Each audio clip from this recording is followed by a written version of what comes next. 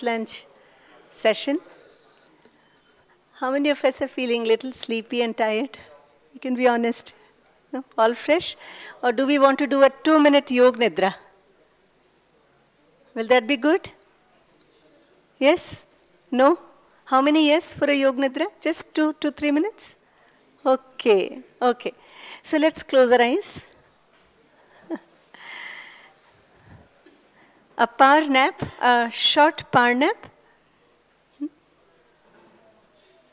Close our eyes and keep the phones in silence and just relax.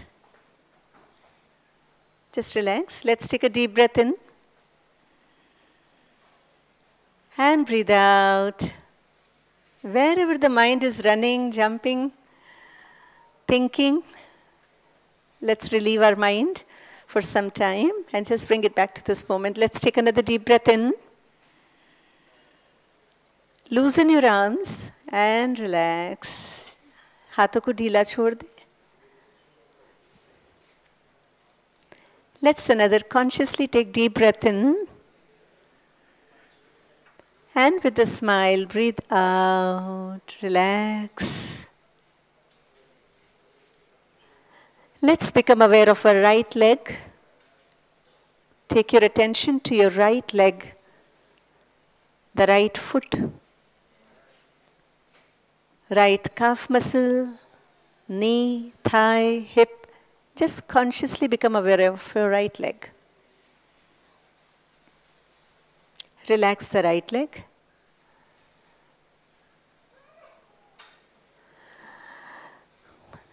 Let's take a deep breath in and breathe out. Let's take our attention to our left foot. Just become aware of your left foot, left calf muscle, left knee, left thigh. Become aware of your left hip and relax the left leg. Become aware of your left leg and let go, relax. Let's gently take our attention to our genitals, lower abdomen. Become aware of your navel region, stomach. Gently bring your mind to the chest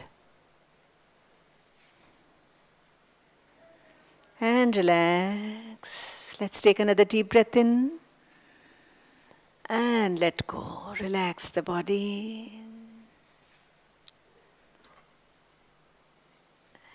Let's take our attention to our right shoulder, right arm, right palm. Become aware of your right arm completely and let go. Let's take our attention to our left shoulder, left arm, fingers, the whole of the left arm, relax. Let's take our attention to the back of our body, lower back, upper back.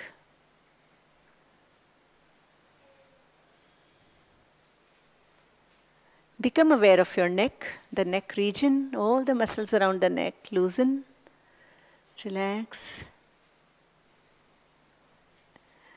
Let's take a deep breath in. And with a smile, breathe out. If you can't make it, you can fake it. Keep a smile on the face. Take your attention to your chin. Become aware of your chin, lips, right cheek, left cheek. Just gently take your attention. Nose, right eye, left eye, the eyeballs, the forehead, the ears. Relax the face. Take your attention to the top of the head, And let go. Let's take another deep breath in and breathe out. Loosen the body. Let's become aware of the whole body. Become aware of the ingoing breath that energizes the body and the outgoing breath that relaxes the body. As we breathe in, the body expands, and as we breathe out, the body contracts. Just become aware.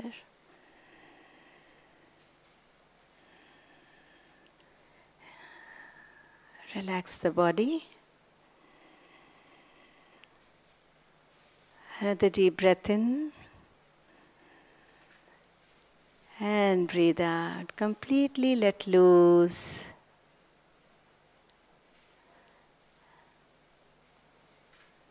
Just keeping your eyes closed.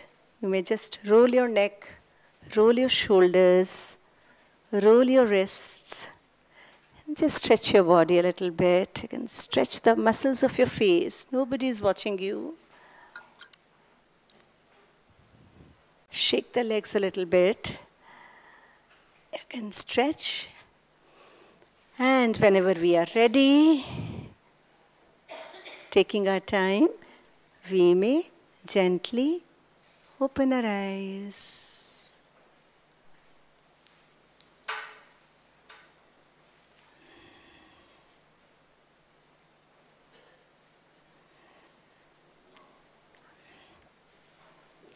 Does it feel good?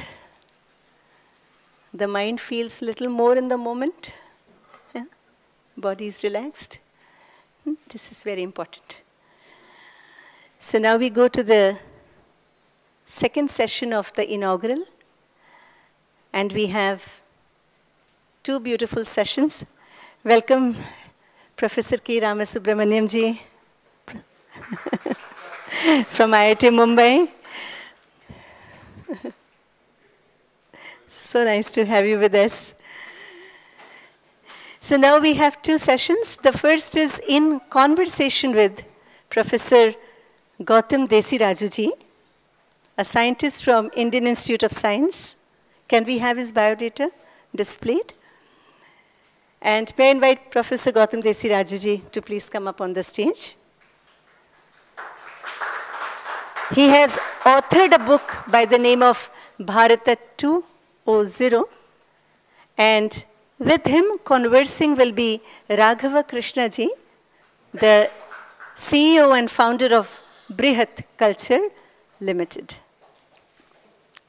The other panelist in the session of In Conversation with is Sriramji Sriram Balasubramanian ji. He was supposed to be here with us today, but he fell ill. He will be joining us online at about 3 p.m. We wind up this session.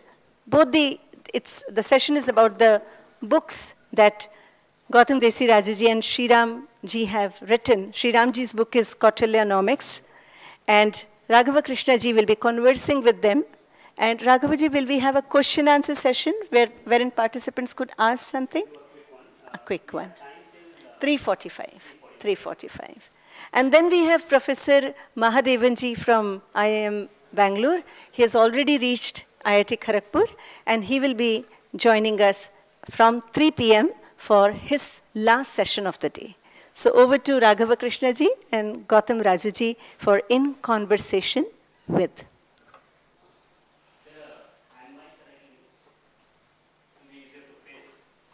Is there a hand mic here?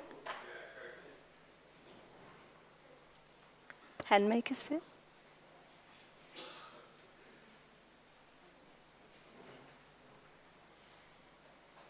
Are these uh, mics working, Maheshji? These table mics are working? Oh, there is a hand mic here.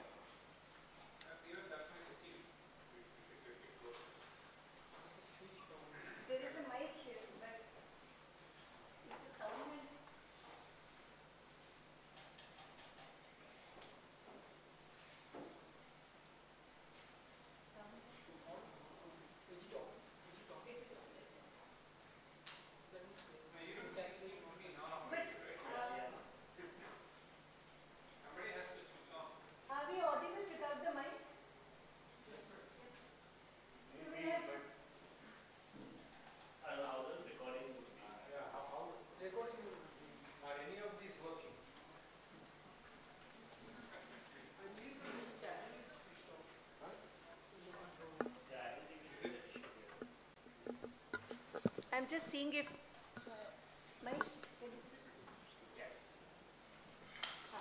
This is working, certainly.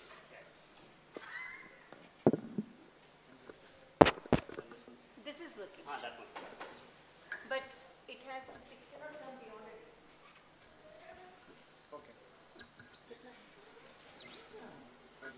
This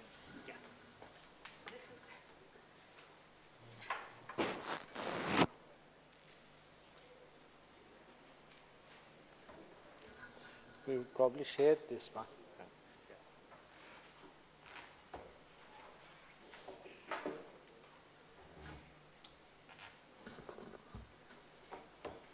I'll quickly make some introductory comments and then we can.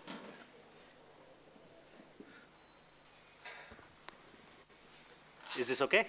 Yeah. All right, okay, all right.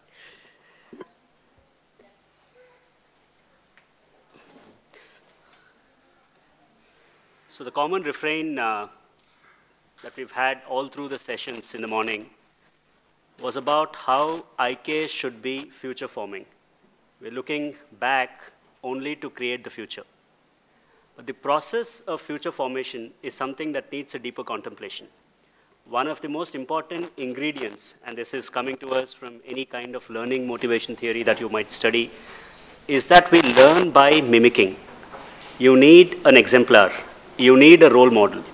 Particularly if the education policy is talking about a multidisciplined mind, and if we all concur that the genius of the Indian knowledge system was the cultivation of the mind, which was able to look at things in an integral fashion.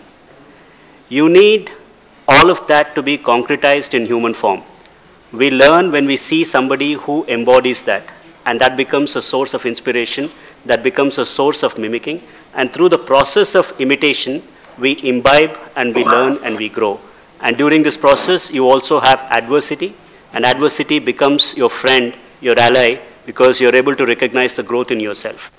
So the important uh, thing when we imagine a multidisciplined mind is to have an exemplar, is to have somebody that we can look at and say, this is what a multidisciplined mind looks like. And I'm absolutely thrilled and honored to be sharing the stage and having a conversation for all of us uh, with a multidisciplined mind par excellence. Somebody who surveyed everything from chemistry to constitution and all the things that come in between. Sir, welcome and very, very happy and delighted to share this stage with you and have Hello, this hello. conversation. Hello, hello. Uh, I've been interacting with sir since last night. He might be a bit tired with all uh, our questions and our, uh, our demands of, on his time.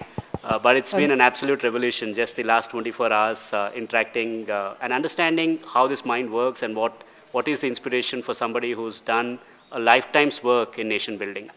Uh, so firstly, I'd like you to help us locate your work in the context of Indian knowledge systems, coming from chemistry and uh, all the scientific uh, endeavors that uh, you have undertaken. And you're looking at this new discourse of a knowledge system, and we're calling it the Indian knowledge system. How do we think about your book, and how do we look at your work in the context of Indian knowledge systems? We begin from there, and we get into the context of the book itself.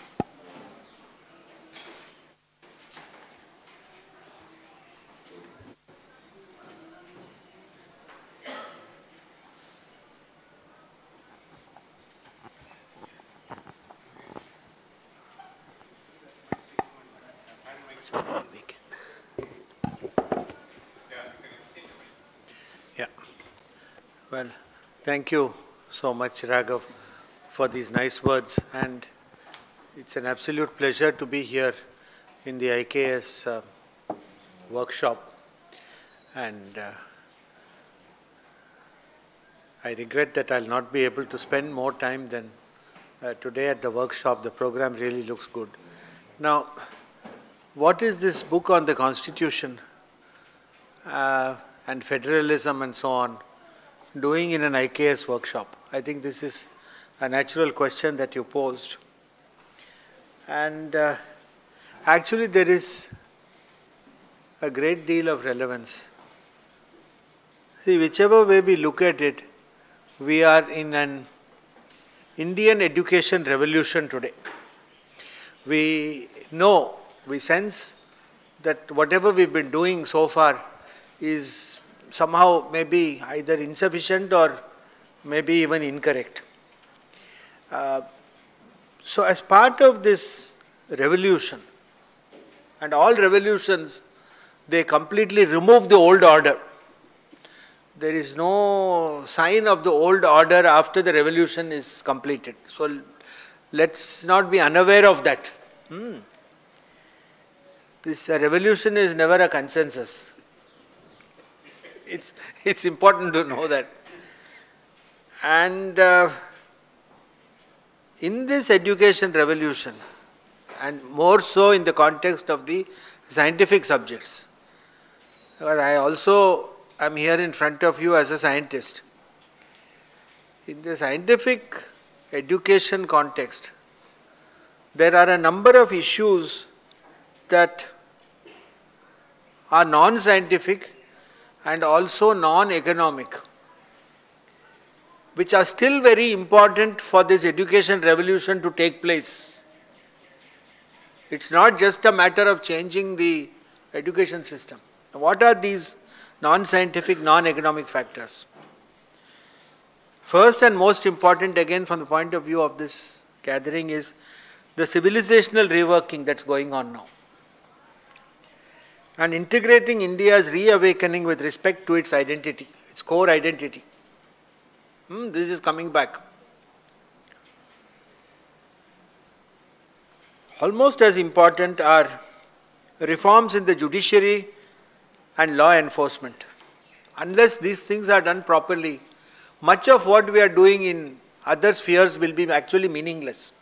Hmm, it will be like some armchair debates and some adda, you know, tea, drinking tea, coffee, etc., that kind of thing. It will degenerate into that. Also, closely allied with this is administrative reform. This has got nothing to do with science or economics. These have to do with basic changes that must take place in the country before all our dreams can be realized into something tangible. Also in a time-bound fashion, 10 years, 15 years, 20 years, but, but not forever, not for 75 years. We have waited too long.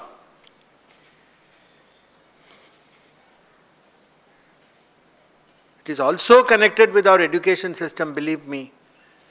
A total defense rejig and the use of artificial intelligence also in wars. Because unless we are strong, we will not be able to have a secure boundary in order to do our own thing safely inside.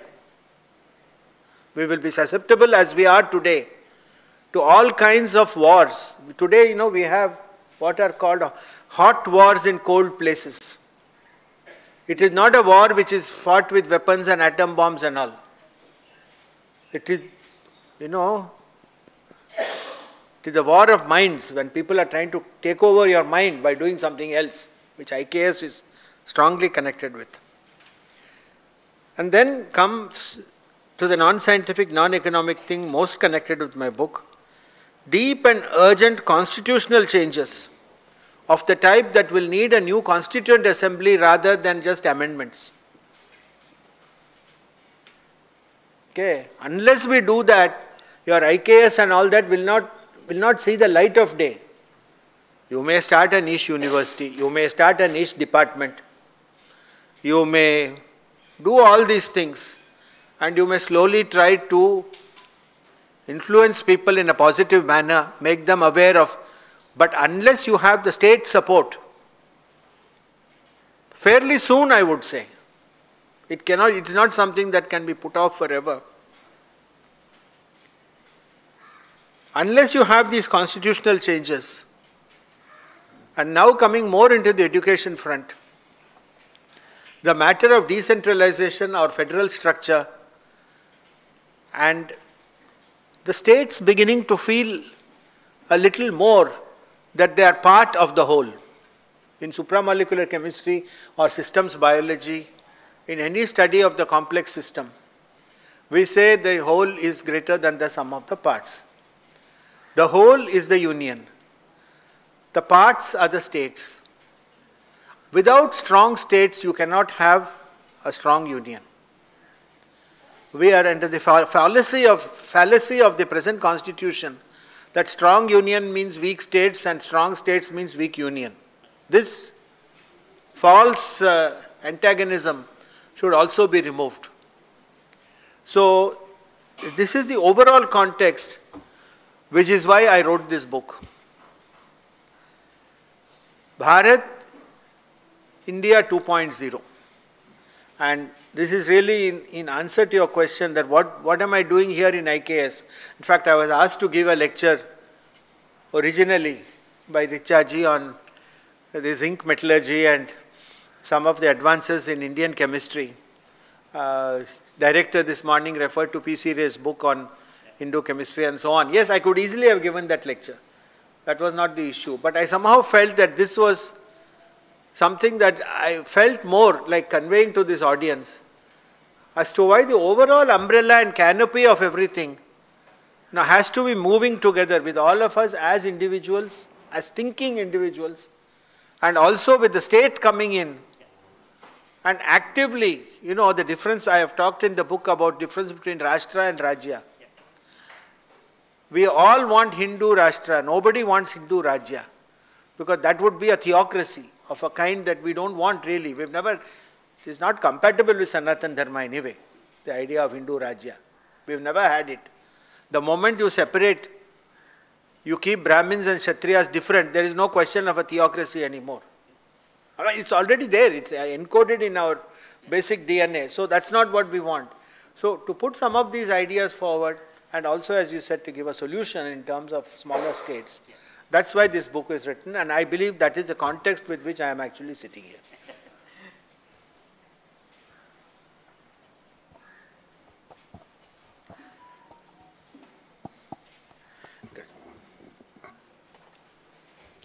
Thank you for that, sir. Uh, you know, we've mentioned this in the morning as well when we think about the roadmap for IKS implementation and the manifestation of the vision in a concrete form we said that the top of the layer is always the executive commitment and the umbrella under which all of us can operate. And this book is actually a great example of what the design of that top layer should be like. The essential concern of this book is threefold. What is the nature of our history in the last 100, 150 years? What were the seminal moments in the last uh, 100 years from, let's say, 1895 to 1909 to 1919 to 1935 and then 1947 and 1950. These are the milestones that you would notice when you read this book. And it talks about how the journey has actually led us to a situation where the operating software that we have is perhaps not compatible with the resident body itself. And I would like you to just expand on that a little bit for us, sir. The idea of federalism, which is coming from your survey of the history and what has led to the current part, so if you could just talk to us through the main themes and also the key events, how should we look at the past? How should we register this before we think about the solution that you have? Uh, very, very briefly, because the whole thing is quite expansive, what you have. Uh, so the constitutional history of India began in 1896 with the Swaraj Constitution, inspired by Annie Besant and Lokmanya Tilak. And then there were several documents from the Indian side and from the British side. And uh, sometimes these met, converged, sometimes they diverged, all sorts of things. So that by the time the Constituent Assembly was set up in 46, we had 50 years of literature survey already. So when you write a PhD thesis or write a paper or something, you see what has happened before you. Question is, did that literature of 50 years, did it influence these people? If it did, how? If it didn't, why not? Was that influence a benign influence or was it a malign influence? The co comment that we have uh, British laws for Indian people, that Government of India Act 1935, some of these things are very well known. So what I have tried to do is summarize in the way in which a scientist might feel. One of the things I have always felt in writing my scientific papers is that you are, the researcher is free to emphasize or de-emphasize anything in the literature. So you are not obliged to give, say, equal weightage to all facts. But in order to try to, you know, in the hindsight of history, we can also say, I mean, the separate electorates for Muslims started with the Morley Minto reforms. And it looks like, it looks like, I'll be careful now with my words, it looks like Lord Minto actually encouraged the All India Muslim League to be formed in 1906 in Dhaka and he said that you're getting your separate, separate electorates. So with that encouragement they started the Muslim League. So the British had already put the, you know, uh, they had already started the mischief by 1909. And uh, other things are well known, not to some of you youngsters maybe, but I think that's why you should also read the book. Who is Syed Ahmad Khan? Why did he change his whole personality from uh, nationalist to separatist? What were the economic reasons that led to the Muslims feeling like an enclosed group in India? The reason was economic. That's why they started feeling isolated. Because they had lived with Hindus for six, seven hundred years. Why did they suddenly start feeling threatened after 1858? I think these are all things you should know. And you should read for yourselves, not listen to some XYZ on Twitter and listen to all, you know, rubbish nonsense that they write. You find out for yourself why these things happen. Why is it that the population, and that comes to chapter 3, the population of Muslims in undivided India in 1947 was only 25%. Why is it that this large landmass resisted conversion so much? And that's because we are a civilizational state. And that is the shortest chapter in the book, but if you want to ask, tell my opinion, it is the pivotal chapter. I don't like people yawning in front of me, please. I hate it, and in all my lectures, I always say that I don't like it. So, if you want to yawn, go to the hostel room and lie down. Now, what, hap- what is the civilizational state? The civilizational state now comes with Sanatan Dharma. That is our canopy. It is our leading light. It concerns the whole universe. It is, you know, what is that? Uh, this uh, Aneka Koti Brahmanda Janani Divya Vigraha. What is this Aneka Koti Brahmanda? It goes, you know, all over the place. It is beyond time and distance. So, this, it is this particular thing that makes us unique. There are only two civilizational states in the world, big ones India and China. And there are different kinds of civilization states because we are pluralistic and they are not. So, this is also explained. There is a third very interesting place which is trying to become a civilizational state, and that is Russia today.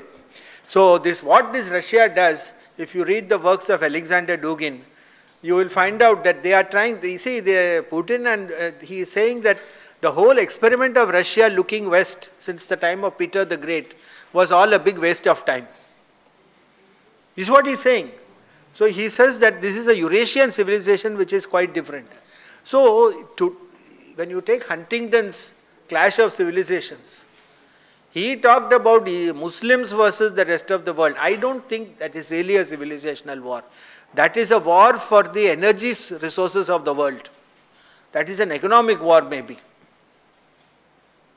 The real civilizational war is Bharat Varsha versus the rest of the world. And that's why I wrote in the theme of the book India did not start this war, but Bharat will finish it. You know, that is the real civilizational war of today, which is the war in which we are all involved. It is not a war with weapons. Because Bharatvarsha has never wanted territory beyond Bharatvarsha. You know, Bharatavarshe, Bharatakande, Jambudvipe, that is all that we want. We don't want anything more than that. From the ocean to the mountain, in the island where the children of Bharata live. All those dvipas, the last most convergent one is this Jambu Dvipa. That is where we are sitting now. And with that Mount Meru on top. So that, that, we have never asked for territory outside. But that is why we Indians are very sensitive to loss of territory. Which is why partition was traumatic. We are very, very sensitive to loss of sacred civilizational space. It is not Jhelum, it is called Vitasta. It is not Taksila, it is Takshashila. Uh, they see the building here, Takshashila, opposite us. When we came here. The real Takshashila we can't go. We can't even associate today with Lavapura.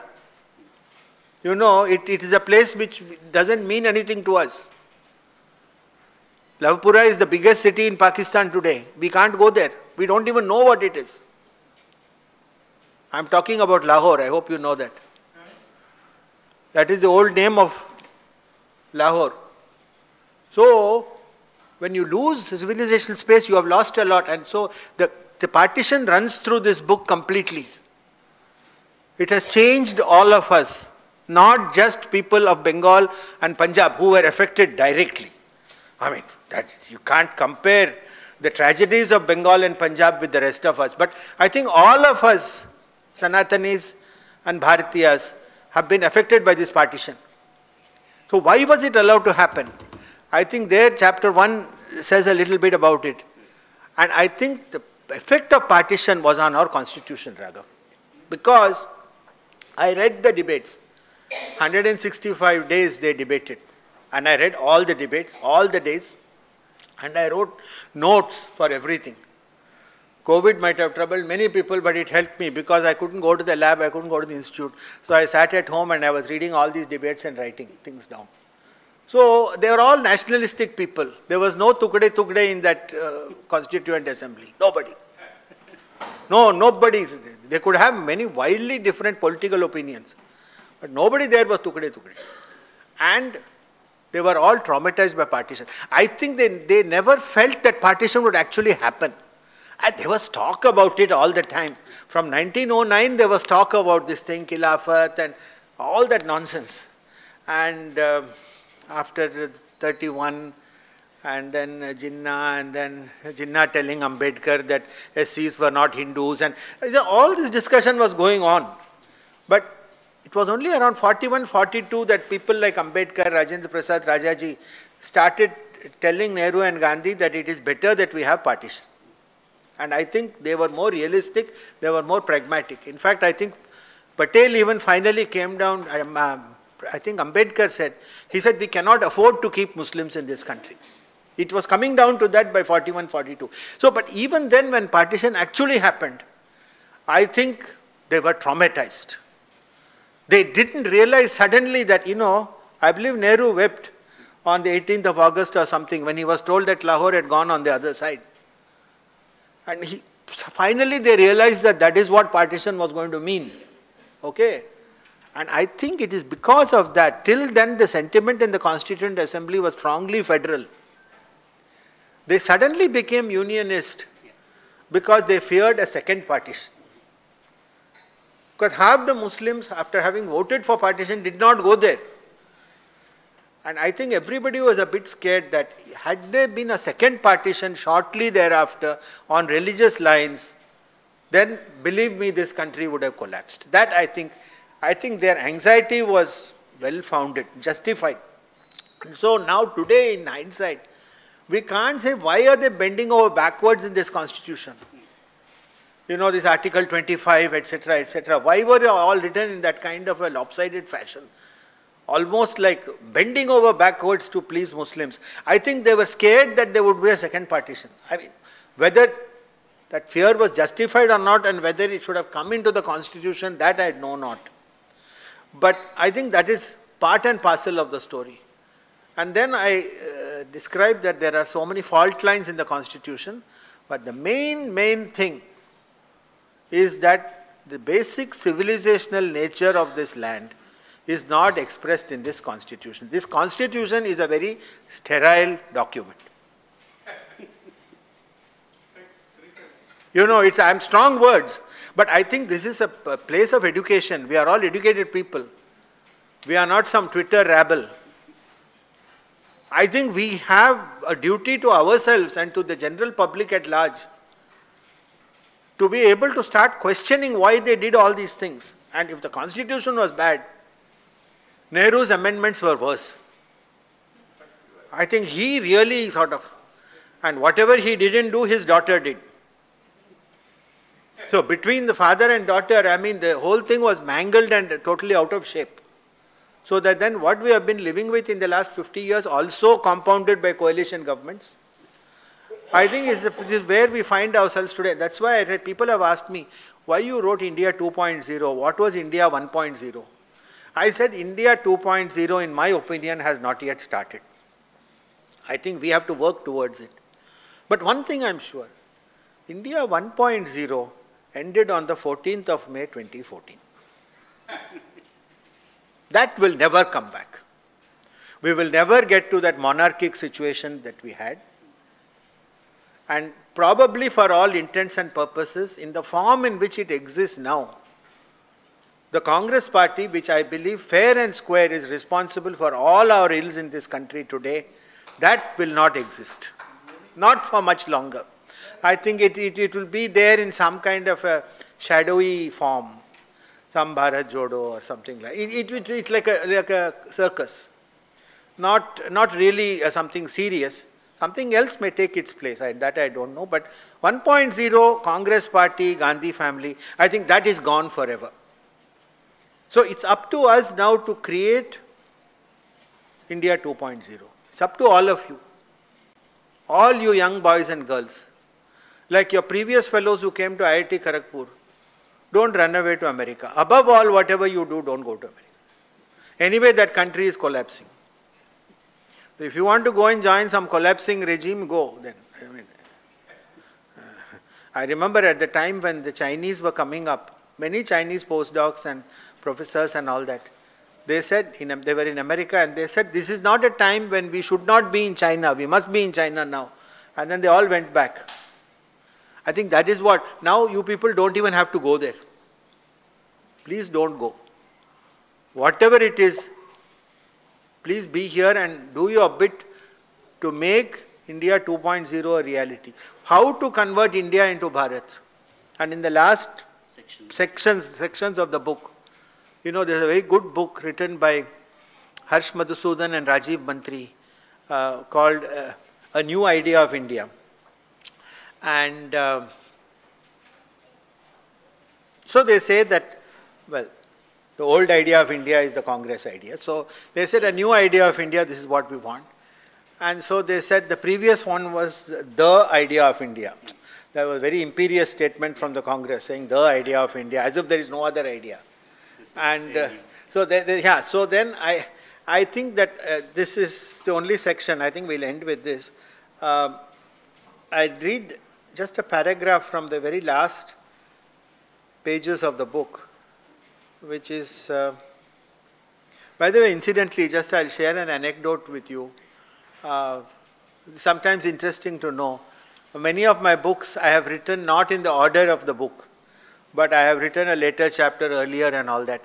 This Bharat book was written in the order in which they appear in the book itself. So I started with the introduction and went, usually in my three earlier books, the introduction chapter I used to write towards the end. And here I wrote it. And the other thing was not only did I write it in the order, my speed of writing was increasing as I was writing the book. So chapter 1 was written, I think, the most slowly, and chapter 5, literally in a few days, I finished it. So, I see what, what happens is, let, let me just read, this is the last thing, I think we're running out of time. And uh, yeah, so see, the Congress, force feeding of the Congress idea of India is bound to provoke a counter reaction especially at a time when the country was veering away from artificial socialism and secularism of the older India. It did not take long for Savarkar to be rediscovered. And it was pointed out that his ideas, refined by Syamaprasad Mukherjee and others, constituted an alternative idea of India. Hmm. I'm not saying that this idea is better or that idea is better, it is an alternative idea. Ideas became associated with political parties, which is only natural because only those political parties survive in a democracy that have clearly defined ideologies. That's why I think Kejriwal is not going to last because he doesn't have a clearly defined ideology except cheating and you know uh, telling lies. So that's that's not enough of an ideology to keep a political party going. I make strong statements. You shouldn't. I always make them. That's why people either like me or dislike me totally. So it's okay. That's, that's my personality. I can't help it. Uh, Madhusudan and Mantri have emphasized with great wealth of detail and concrete examples that a new approach to our administrative structures, see, he again refers to administration, which I talked about in the beginning of this thing. A new approach to our administrative structures, basically removal of Babugiri, is an important part of the newness of their idea of the country. However, after all these ideas have been done with and dusted, there remains the oldest idea of India, which is also the best. That is Sanatan Dharma. That is, that is the best idea. Now, now look, now what I say. This is what others have said. And always in a book when you write, when you write a paper or something, what's the difference between a paper and a review article? In a paper means you have to say your own thing also, not just say what other people have said. Many times the social science people, they are very good at saying what, repeating what other people have said. They have, they said any new things on their own? Eh? Uh-uh. Sunya. huh? They find a gap, they find something, they do a good analysis. Some of them are quite good at doing that analysis. All researchers are trained to do analysis. You know, we can do it. So I've written, if this is my new stuff now. If Madhusudan and Mantri have a problem with the word the in the phrase the idea of India, so they said the idea of India is very imperious and overbearing, so we will make it a an idea of India, and then they said they further tempered it a new idea of India. Nice. Both I know them both well. Both are very very pleasant young men, so they, it suits their personality.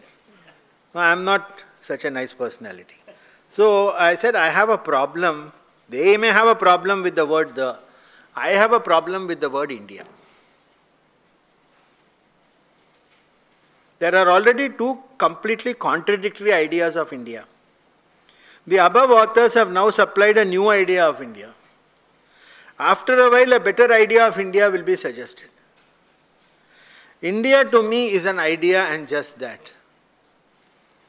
We do not like to remember Churchill a lot in this country. Especially in Bengal, he is not liked at all. We do not like to remember Churchill a lot in this country, but he was among the first to express the notion of India as an idea. He said it's like the equator. He said it's nothing more than that, something, like, something other. So like all ideas, it is open to discussion and debate, India. It is a hypothesis which needs to be supported with data before it becomes a theory. A theory is something that predicts and in the best case forbids. And in this manner it stays on till it is falsified as Karl Popper would have it. The Nehruvian hypothesis, Madhusudan and Mantri are at pains to explain that this may not correspond to the person called Nehru. Yes, Nehru started it, but Indira Gandhi, that whole thing, that Nurul Hasan and all these things that he did with our education policy, all that is that Congress idea of India, was sought to be forcibly converted into a theory. They were taking a hypothesis and trying to make it into a theory with false facts. That's what they were doing in the scientific language I am saying. And they were trying to forcibly convert it into a theory through the aegis of a constitution that was deformed and distorted by Nehru and his daughter. So, like all false theories, falsification occurred easily, as it must for any unsound theory, and unambiguously enough if the 2014 election result is any indication. That means the people of India have said that this is a false theory, we don't believe it. And I think the electoral savviness of the BJP simply means that they knew what the people are thinking and they were able to communicate it back to the people. And only in 2019 didn't, doesn't mean they became greater. They were able to communicate even better what the people were thinking. So as long as the political party goes on being able to express that better and better to the people, finally when we are, you know, if we feel that a political fellow is at least reflecting accurately what we are thinking, that's usually enough for us to vote for him. We don't, Indian electorate is quite kind. It's not a cruel electorate. you know, we give benefit of the doubt. So, the, he's at least telling us what, you know, this is correct. You know, so that's why we're voting for them. So countries can be made and unmade. But a theory is a reality as opposed to a mere idea. And in the immediate time scale, there is no better description of the reality of this land than the nation Bharat. So I have no problem with the word Bharat. I have every problem with the word India. And that is basically, you know, Raghav, the thesis of this book. So in long and short, you know, I think this is this is what I'm talking about. The rest of the book, you know, all examples and thing and thing and thing. Federalism, you said smaller states. Why will smaller states help, etc., etc. But I've given a solution in the form of smaller states, which I believe is something that uh, serious readers of the book should read. Chapter four, and uh, do go go out there, try to buy it, try to read it. Like all my scientific papers, it is heavy reading my former PhD students, they are very, very amused. Uh, one of them, who is a professor here in this institute, told me, he said he was very amused. So I said, I knew why he was amused. He said, uh, uh, when I read the book, I feel I'm reading something very familiar, but the subject matter is completely different.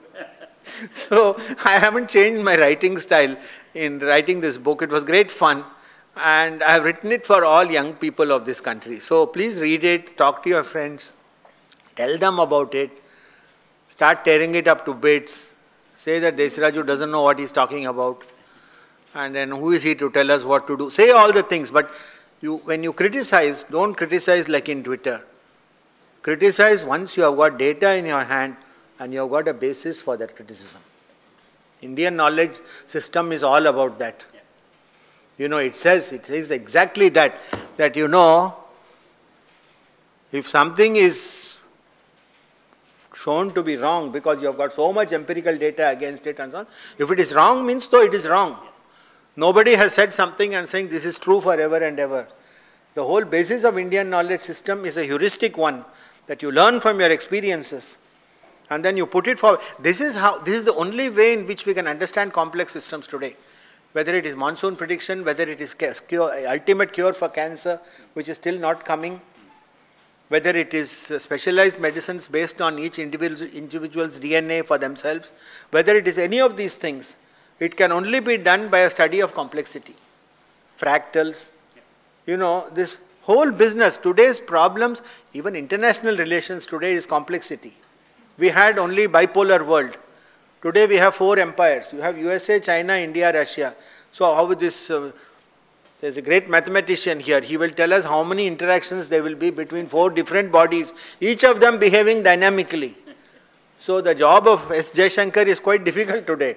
To try to see, uh, you know, we are one of the four. How do we play the game with the other three, who may sometimes be friends with each other, sometimes be enemies? In chemistry, we say that, you know, two body problem, three body problem, multi body problem. It's very, very awfully difficult to predict a crystal structure because same kinds of factors. See, the whole thing, the general, the basic way of thinking in all these modern problems of science can be found in our Indic systems. And that is where we have to go. I think that is what the purpose of this workshop also should. And to try to tell them that, you know, as Winnie the Pooh says, it's all the same thing. It's all the same thing, and it is just different manifestations. How can it be otherwise? We are the only civilization in the world, the only religion in the world, where we say the same thing can be perceived in six different ways, all of which are equally true. Huh? Who else says that? Six darshanas is enough to tell you that, you know, Sahasranamam says that she is Bahurupa and she is also Nirdvaita. So how do you reconcile both these things at the, at the same breath practically?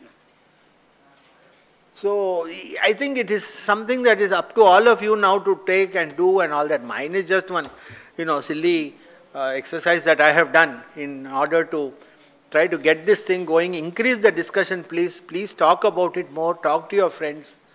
And uh, as I said, I was telling some of our youngsters here yesterday, and you, Raghav, also, we this I am talking as a chemist. That chemistry is usually considered to be the victory of kinetics over thermodynamics. So usually we don't care if we get the best solution, but we want the fastest solution. But you also add that point about S20, now that India has assumed- S20, S20. India has assumed the leadership of G20. Yes. uh, And you have a particular role uh, on science. Yeah, pretty big role, I think, yeah. So maybe very quickly, I know that we're running out of time, but very Yeah, quickly S20, I mean, G20, I suppose all of you know that it is the G7 countries were expanded to 20 countries, which is 19 countries plus the EU. I think that was done about, what, 13 years ago, 14. So for the first time this year, now, well, 2023, India has assumed the presidency of the G20, which means all the G20 activities will be conducted in India. Yes, G20 has now got seven, eight, nine verticals, of which one of the verticals is science. So that is called S20. So S20 will uh, summarize all the action points of the G20 countries in form in terms of international science, global cooperation, big worldwide problems like climate change and uh, energy, environment, health, water, all these things, and put it together and put a final note to the G20 Secretariat.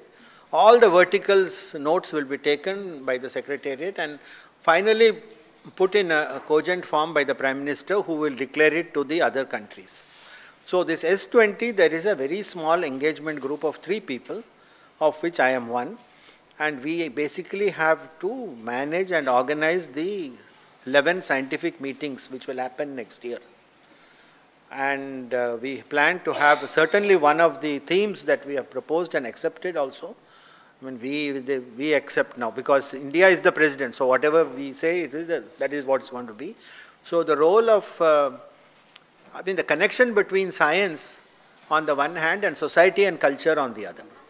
So this is where India can take, yeah, really it can take the lead for this. And so one of our, one of our five meetings will be on this. And so Dr. Vijay Bhatkar, who is the chairman of Vigyan Bharati, is one of the members. Uh, Ajay Sood, who is a PSA, is the second member. I am the third member. So these three people will have to sit and do all the things. The secretariat of this uh, S20 is not Vigyan Bharati, it is not PSA office, but it's Indian Institute of Science. Ah, they have told that also. And so Indian Institute of Science is the secretariat. So we will be doing all the things. And in that respect, the Director Indian Institute of Science, Professor Rangarajan, is supposed to assist us to get all these things going. And so this is the story of S20. So I am looking forward to cooperation from all of you people and please feel free to send inputs, outputs, whatever it is we can do. And I have been given this, you know, responsibility at a very short notice. I don't know how on earth we are going to be able to manage. And, uh, you know, now we have got to put this whole structure, you know, So we are about what we are trying to do to the foreign audience. All these foreign science ministers of all these countries will show up and then, you know, they are all hard-boiled people. So we've got to do something about it. But since you asked about S20, so you'll see me a little bit out of circulation for many things because whole of next year I think I can see myself quite preoccupied with it. And that's a great pedestal for Indian knowledge system, sir. Uh, We're with you, so thank you and all the best. I don't think we have time for questions, but sir is here till evening. I'm here till the evening Till and evening. Uh, So those of you who want to have an interaction, we can try and connect further. Thank you so much, sir. thank you, thank you.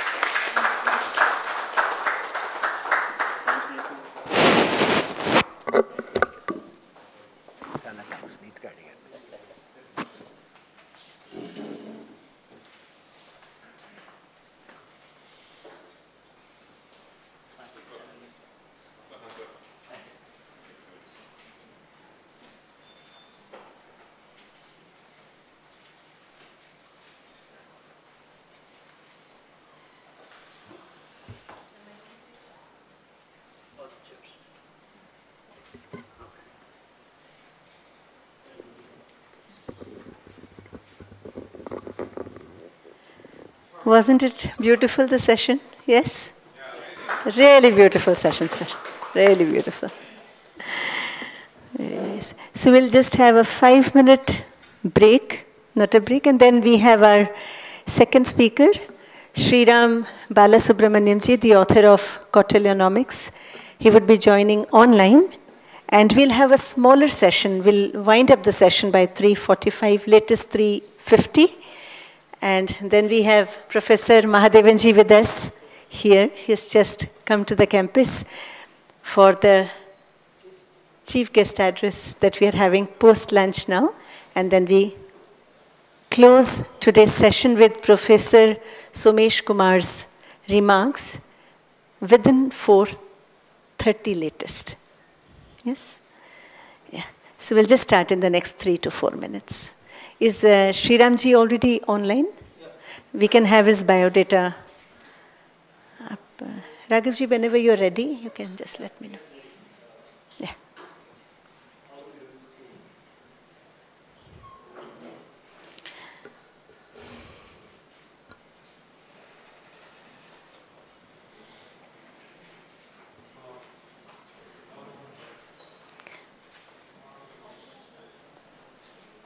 There is a tea break, but that is at 4.30. Hmm?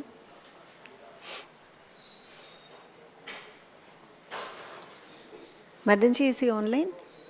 Sri Ramji is not online?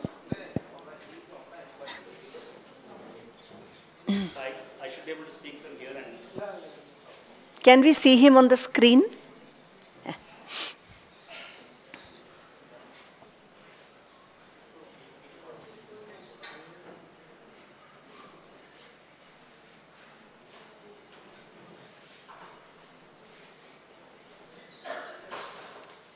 I see some students of IIT who did the FDP 2020. Do I recognize some of you? Ah, yeah. yeah.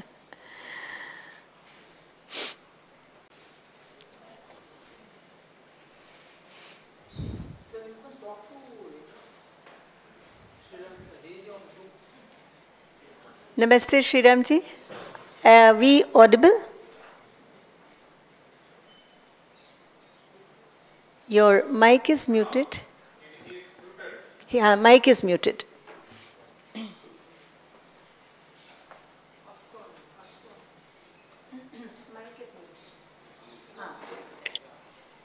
Namaste, can you hear me?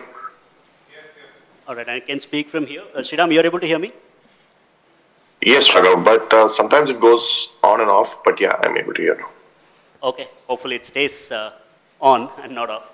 I hope you're feeling okay. Uh, we're missing you here, but uh, thank you for taking time out. Uh, know that you're unwell. Uh, so we just had a very interesting conversation on the backdrop of the uh, Indian Constitution and what has uh, evolved and, and you know what has impacted us since 1947 and continues to. It was a very provocative session. And I think it's only pertinent that from the immediate past, we also take a look at the conceptual thought that has framed the Indian idea of state design. I must admit, and I told this to Sriram as well when I read the book, that I was a bit skeptical because the book is Kautilyanomics, and I suspected that there is now a trend to distill easy management insights from the Shastra, but I was wrong. When I read the book, I looked at the intensity on two levels. One was to help us understand how you approach a Shastra. There is a whole section in the book on the language and on the structure of that language to even approach a Shastra. That was to me a very, very pleasant uh, uh, you know, experience. The second dimension, which is excellent about this book, and I would highly recommend that all of you engage with that, is that it is once again about the future. It takes into account the concerns of environment. It takes into concerns the, uh, the challenge of economic management towards ecology. And it gives us a moral vision for how an ancient text can inform the future. So Sri, I'm very excited to talk to you about this. And uh, once again, thank you for exploring one of the lesser explored dimensions of Arthashastra, which is the Artha part. Right? So uh, look forward to having this conversation with you. We have the audience here composed of uh, different faculty from uh, multiple universities, and we have uh, some luminaries of the Indian knowledge systems listening to you today. Welcome. Welcome to FDP uh, 2022 at IIT Kharagpur. You're able to hear me okay, Sriram? Yeah. Yeah. All right. Cool. So firstly, uh, if you could just uh, uh, help us understand, uh, for those who are interested in the subject, what was, uh, what was your approach to the Arthashastra? And uh, how did you get into the text and what was your moral vision as it guided you when you started engaging with it? thank you. So first of all, thanks for providing me this good opportunity to present my work uh, and I apologize I couldn't make it uh, to the event physically. Um, on your question related to the book, I think the, uh, as you mentioned, the, the Arthashastra is often looked at, um, um, you know, through through the political prism, um, uh, the Chanakya Niti part of it, um, or it's looked at through the self-help uh, sort of, uh, you know, business part of it. Uh, but but the real meat of the Arthashastra is the Artha. Um, so that was something which is completely lacking in any form of research. Uh, so I was I just chanced upon this text uh, while I was working on Angus Maddison's data set. Angus Maddison is an economic historian. I think a lot of people use his numbers, but very few people actually look into what his work. Um, so he had produced a data, set which gives you a thousand years of you know global GDP and GDP per capita. Um, and India and China were top of the charts for till about 17th century. So my intuitive understanding was that there had to be some framework uh, you know, some uh, economic framework which had to facilitate this. And I think that's where the Arthashastra came. Uh, and I started looking uh, into the text. Uh, first of all, is first part of it is the Sanskritam text, uh, dealing with Sanskritam scholars um, and engaging with Sanskritam scholars. Um, the second part of it is is the financial slash economic part of extracting a theory on what Kautilya had, had uh, articulated. And the third part is to contextualize it to today's times. So these were sort of, you know, three huge challenges uh, uh, for the book. And it had to sort of uh, be compelling for each of these type of readers. So, you know, the Sanskritam scholar, uh, like Professor Ramasubramanian, uh, should be happy with book, or the public policy expert like Dr. Raghav, yourself, you know, should be happy with book and also a common reader. Someone in my family who doesn't understand either of these should get something out of the book. So I think that was a real challenge in, in sort of articulating this message. Uh, and you're right. I mean, the idea of sustainable growth, since we talked about sustainability, is central to the pillars that I discussed in the book. Uh, you know, we talk about a non, uh, a state which is rule enforcing but doesn't intrude.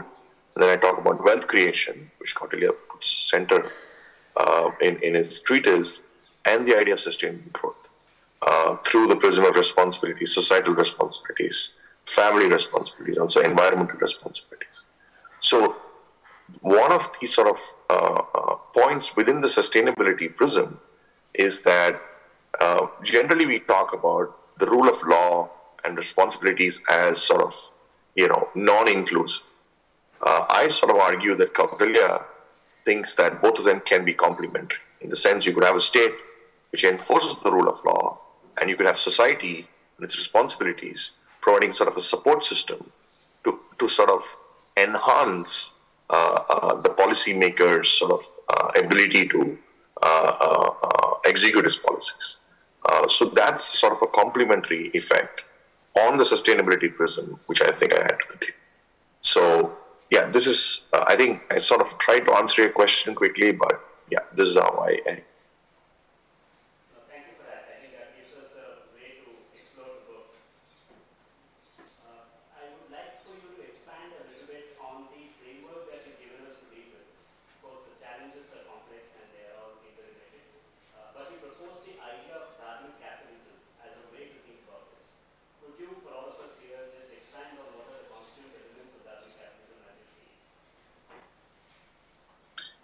so I think, you know, for, for us, uh, dharma is a very sort of loaded word because there are many meanings. Uh, you know, we have many interpretations of the word for dharma.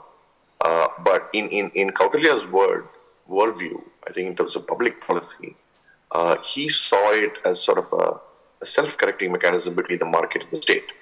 Uh, in very simple terms, we in, in, in the overall macroeconomy, we have the state, we have the market. So if there are any interventions that need to be made, either the state increases taxes or you know uh, builds you know infrastructure, builds projects, um, or the state you know gives direct benefit transfers, for example. So the state does all these things to, to sort of intervene in the economy. And the same with the market. So the market has its own fluctuations, uh, and people intervene in the market to sort of stabilize it and things like that. But what Kautilya says is that uh, the idea of dharma could be something which can self-correct both of them. rather than you know just changing uh, these two binaries. So, for example, if there is say corruption in the state, uh, you know the idea of dharma could actually ensure that more dharmic society could ensure that the state and, and, the, and the components of the state could be less corrupt, uh, and there could be mechanisms sort of derive. So Kautilya saw dharma as sort of a foundation uh, and a self-correcting mechanism. So basically, his thinking was that the more you enhance the sort of dharmic fabric, the more uh, the state and the market are sort of, you know, uh, their burdens are lesser. Uh, and, and, and this ensures there's more sustainability. So that's where the, the idea of dharmic capitalism comes. Uh, and in terms of the components of it, I think if you read the book, you, you get a better sense. But uh, the broader sort of pillars, I would say, is uh, the roles of ethics, uh, responsibilities, and also uh, uh, a broader worldview of, of um, sort of an internationalist approach. Um, and this is something, you know, which is um, which, which is something often ignored in the sense that if you look at, say, thousand years of history or more, we there were very few civilizations which were as open in terms of trade, in terms of engaging with the world as ours. Um, you know, the last probably 60, uh, you know, till the till the 1990s, post independence was probably the only time where we saw sort of closeted in in, in our uh, thinking. But for the rest of history, if you look at, you know, right from Kautilya's time, right from the you know other Hindu kingdoms, right, uh, the Cholas, Cheras, Pandyas, the Vijayanagar Empire, all of them had, you know, uh, uh, extensive international trade. All of them had, you know, uh, many people like uh, Mr. Sanjeev Sanyal has talked about maritime routes. Um, so the idea of a sort of a, an open uh, mind frame was something which is the status quo, not the other way around. Um, so the, the pillar of dharmic capitalism at, at, a, at a conceptual level, where dharma plays a role of self-correcting mechanism, is, is construed through the idea of ethics, responsibilities, and international worldview. And that sort of maps on to the idea of wealth creation, uh, a rule enforcing state, uh, uh, a non intrusive one, and then sustainable growth. So these are sort of, you know, uh, the contours of what I would define as Kautilya's view of dharmic capitalism. Thank you for that. Uh, I think that gives us a conceptual map uh, that can help us understand the link between accountability and fusing that with ownership through institutions, through responsibilities, and through a foundation of ethics. Uh, thank you for that, and uh, I would really encourage that all of us read this book because it has a lot of potential to expand. And that brings me to my last question, and I'll actually club two dimensions uh, here, uh, Sriram. One is the idea of institutions itself. How would you uh, define that, you know, if you've studied the work of Douglass North and others who write about institutions? What does the Arthashastra have to say about uh, institutions? and extension of that, how would you like for all of your audience to consume this book? You spoke about three different kinds of audiences. Uh, you know, how can this book inform something about uh, mind making uh, within the academia? How do you think it should inform the policy making? What are the sort of uh, future activities that you envisage that we can all collaborate on? Yeah, thank you. So I think the role of institutions is quite important, at least from um, how Kautilya viewed um, uh, his uh, idea of uh, economic policy making. there are two, I would, I would say, two layers to it. One, the state and the institution, um, how you know the approach of the state has a bearing on how the institutions function, uh, and two is the individual sort of uh, uh, um, nascent element of institutions. So, eh, with regard to the state, he's fairly clear. You know, Kautilya might have really strong, uh, you know, punishments in some cases, uh, but he has well-defined rules. So it's a very detailed state. Uh, um, uh, you know, contrary to what people say uh, or, or what people have uh, commented, it's not a socialist state by any means.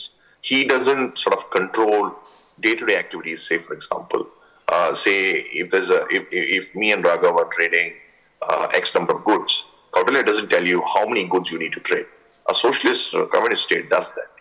So what, what he would do is he would define the parameters of trade, for example, between the two of us, and then say that if you cross the line or if you don't follow the rules, then the punishment is severe. So that's the you know sort of role of a state, which which Kautilya uh, envisaged. Uh, second is on institutions. Institutions, I think, integrity, uh, a clean administration, uh, clean leadership. Kautilya always believed that uh, the king uh, is is at best a servant of the people, and he needs to cater to the welfare of the people, um, and he needs to be clean. If the king and the escape are not clean, he advocates them to be replaced, you know, with others. So uh, clean leadership, clean administration, and, and, and very sort of transparent institutions um, is what he, he envisaged. And, and, and lastly, on his point, you know, this is a team that you find across the Shastra. You know, in terms of labor contracts, is just another example. Uh, you could you could find that uh, uh, Kautilya wants uh, uh, employees and the employer to share their labor contracts publicly, even though if it's a daily wage laborer, for example. You know, the, the sort of contractual elements that we talk today for daily wage laborers, Kautilya already had that idea. So he's sort of, it's consistent that he is open, he, he's for transparency, and he believes in clean institutions. Um, and on your point related to how this book is consumed, um, I think uh, for, for all the you know academics in the audience, it would be really useful if this book is used uh, for a wide variety of you know cross sectional uh, uh, courses because um, there's first of all there's very little reading material on this subject. So this is probably the first or second book related to Kautilya's economics and its public policy. And and two definitely provides an insight into indigenous thinking uh, within public policy and economic thinking and that's very important. Uh, you know, without a sort of an indigenous civilization understanding, you know, no civilization can sort of move forward on its own. Uh, whether it's capitalism through the idea of Protestant ethic, or, or, the Chinese model of governance, or even the Japanese model of governance, all of it is, is a derivative of their civilizational, you know, sort of sort of principles, whatever they are. I think for us to sort of, you know, develop this, to debate and discuss these ideas, it needs to go to students and young people, which is why you know I make an effort to, to go to business schools, you know, institutions, uh, uh, and people and academics across board to sort of get this awareness, so that you know this, this sort of creates more discussions and ideas, and hopefully in another ten years when you're talking, we'll have 10, 15 books like this for us to discuss. Right, thank you so much. We'll, uh, we'll end on that optimistic note. Maybe you'd want to show that again, uh, you know, the cover of the book. Uh, and uh, sure. really, yeah. So that's the book. Uh, I would uh, highly recommend this. Like I said, it changed a few ideas that I thought uh, I had well settled. But uh, once again, thank you, Sriram. Uh, wish you a speedy recovery. And certainly take your message that this book needs to be engaged with and it should produce newer forms of thought. And all of that should lead to the framework of Dharma capitalism that you laid out for us. Thank you. Thanks, Raghav. Appreciate it.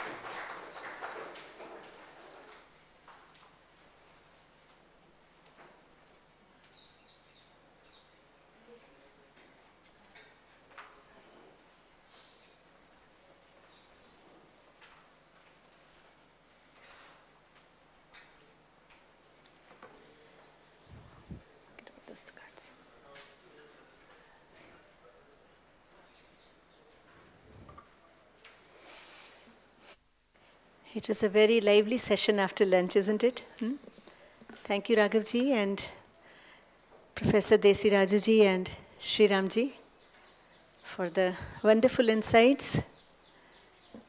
And now we go to the last session of this evening before we have Professor Somesh Kumar's way forward.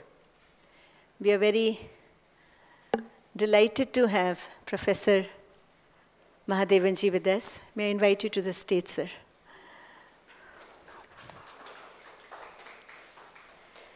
And he has authored a book which I'm sure many of us would know. And if you don't know it, could be know because, especially for the participants who are here physically and those who are watching us on the YouTube, uh, this whole canvas of the next 14 days is an introduction to the Indian knowledge systems. If you would have seen the uh, the schedule that we have created under the guidance of Professor Kapil Kapoorji, each of the domains talks about the sources and texts. We begin with that. the schools and thinkers, then the cogent statement of knowledge and ideas, and the applications and way forward for different domains. It's an introduction to the entire Indian knowledge systems, and we have a book by Professor Mahadevan who has written a book on Introduction to Indian Knowledge Systems. Is it available online, sir?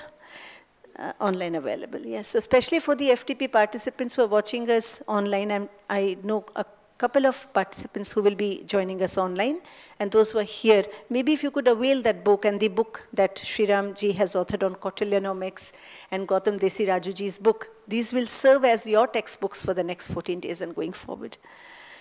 So we have about 15, 20 minutes, sir, for you to please give us your thoughts about Indian knowledge systems and the way forward.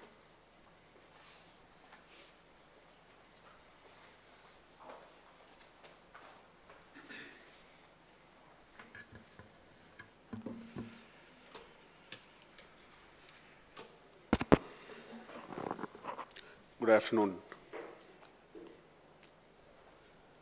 ladies and gentlemen. It's indeed my pleasure. Let me first of all thank uh, Dr. Richa Chopra, IIT Kanpur, of course, Professor Ganti Murthy is here, the IKS division of AICT, all of you, for inviting me here. I think this is the third in, in the series of such uh, programs, if I may, uh, sort of, uh, yeah. I think I'll start with a very favorite story, which in some way summarizes where we are on matters of Indian knowledge systems. Then I will share some thoughts. There was a sannyasi who was walking into the temple, and as he was about to enter into the temple, there was one. Uh, we see in some temples outside there are a few people sitting and asking for some alms and so on. So there was one person sitting on a nice wooden sort of a platform asking for alms and sannyasi said, uh, I cannot give you anything. I am also supposed to uh, eke out my living by begging. Therefore, I do not really have much to give you. And uh, then he said, you are sitting on some uh, wooden box. What is, what is there inside? Why don't you open and see? Then he said, uh, no, no, I am a fourth generation. My great grandfather also sat on the same box. My grandfather sat, my father sat, and I am now sitting. So, what is there to really open and see and so on? They are sitting here for years. So, the sannyasi said, uh, Fine. As he entered into the temple, he just made one statement and went. He said, Whether you sat on the, on the box for an hour or a million hour, you may not know what is inside until you open it. So he just went away. So after a few days, this uh, person who was sitting on that uh, wooden, this started making sense. He said, maybe there is some, there is some old lock, it has, no key is there, nothing is there. So finally, only this thought just overpowered him. He just took a big stone and then broke that lock and opened it. He found it was full of some, uh, you know, gold and diamond and all that kind of things. So Indian knowledge system is for us like that in a way. We are sitting on a treasure. And uh, the only slight difference is it appears that we go to the rooftop and say we, there is some treasure instead of really opening the box. That's only difference. At least the beggar did not know what is inside. Here we seems to be you know, sending WhatsApp messages saying Indian knowledge is great, this is happening, that is happening and so on and we leave it. At least uh, it has been like that. But the moot point is, why did it happen? In fact, I am not so much interested in talking about what happened. I think enough we have spoken and that is of no consequence. I think, uh, but there is one important point I want to make. See, in this country, we had a concept of Pancha Mahayajnas. It was a daily sort of, a, I mean, it's a Nitya Karma. It is not daily Nitya Karma. It is a ordained uh, kind of things that we to do. So we have Pitru Yajna, which has to be done for the departed ancestors. You know, we have Deva Yajna, Manushya Yajna, Bhuta Yajna. There is something called Brahma Yajna. Now, the nearest that I can talk about of Brahma Yajna is an inbuilt mechanism by which the knowledge which is there is passed on down the generation. This was the central theme in Brahma Yajna. If you really look at the core of the idea, that is what it is. A society which decides that I will benefit from all knowledge, but I will not pass it down to the next generation, it's a matter of time. First of all, that society is selfish. How can you say, I need knowledge, but uh, see, that is what is happening. A lot of parents don't go anywhere near their children.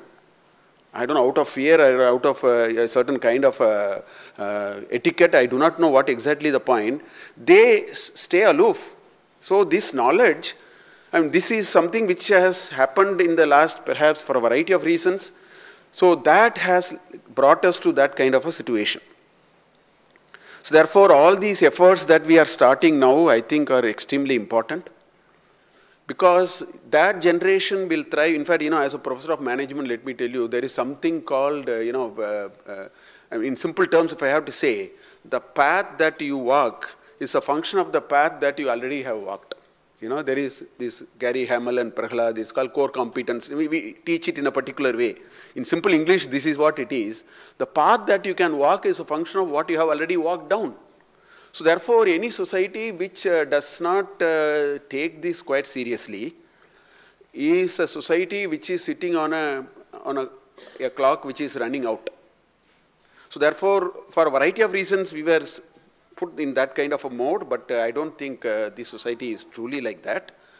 As I have just, uh, as Professor Desiraju was giving many of those things about the, I think there are reasons, let us not get into why, but the fact is at least there is an opportunity for us to turn around and do what needs to be done. I can first of all tell you Indian knowledge system will never become extinct because it has the weight of its own logic and completeness. So I, uh, that's at one level. I don't think it can ever become extinct, right? And the proof of that is a country which is subjected to about 800 to 1000 years of uh, all kinds of aggressions and so on has been able to unmindful of all of that except for the last probably 150 years or 200 years. By and large, even there it has been going on, but the conditions had become uh, progressively difficult. But even after this, there is a lot which is there, which is dormant, which is resident at different uh, uh, levels of the society. So these initiatives are only trying to bring it back to the mainstream. So therefore, first of all, I am personally not very worried whether you know this will happen or that will happen. But what I am really concerned, or what I am uh, really uh, you know uh, interested to share with you, is uh, the way we need to go forward is where we have to think elaborately. Because uh, you know uh, people say, you know, it, it, should start from the schooling education, what do we do about it? Then there is a whole lot of initiatives happening. UGC is doing something, National Curriculum Framework is trying to do something, all those are happening. Then there is another big conversation that is happening, whether uh, do we simply uh, read the scriptures and bring it to uh, the table or do we do something more about it? How do we bring it to contemporary research? So we are overwhelmed with multiple dimensions on the problem. I am saying this because uh, this should not be the source for us to get distracted or turn the other way. It's very important for us to understand. For a certain discontinuity that we have gone through, this is very natural. Therefore, I think the first thing I want to say is unmindful of all these. I think we must exhibit true Shraddha.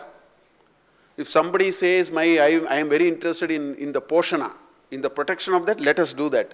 If somebody says, I am interested in seeing how it can be brought into the schooling education system, let me invest on it, let us do that.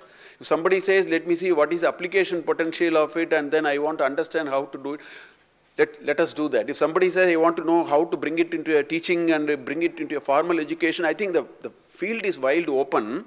And in the initial stages, whichever way we go, there can be a lot of uh, uh, you know, uh, counterpoints and criticisms and so on, I think the most important thing is we must be unmindful of all of these. That's the most practical thing that we need to do. Now, if you look at what is, and we have had a great uh, tradition of knowledge. That is the strength of this uh, Sanatana Dharma. We have had a great tradition of uh, knowledge. And if you look back at those traditions, there were a few things that uh, came to my mind. The first thing I would say, because we need to preserve all of them, because in the last 150 years, our mindset has a little bit changed. So we need to, you know, go back to some of the fundamentals and understand what are the paradigms on which we have to travel this path of knowledge creation.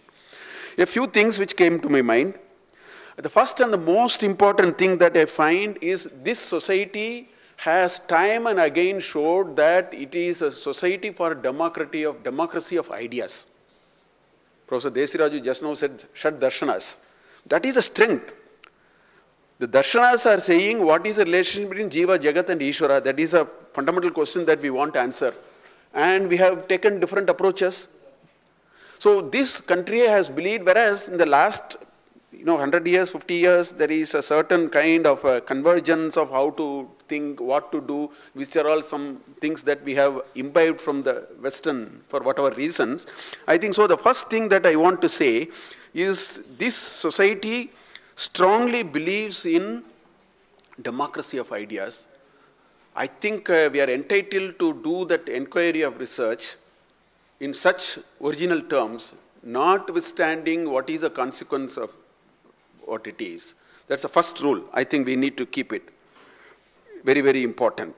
There is enough ground for any number of alternative views, and that's the only way it needs to flourish. Second thing, for some reasons, we have little bit lost out. Another characteristic feature of the Indian society is to think big on every matter. You know, if you take Mundaka Upanishad, it says, Kasmin vijnate sarvamitam vijnatam bhavati. That's the question. Look at the gravity of the question that is being asked. Kasmin vijnate sarvamitam vijnatam bhavati.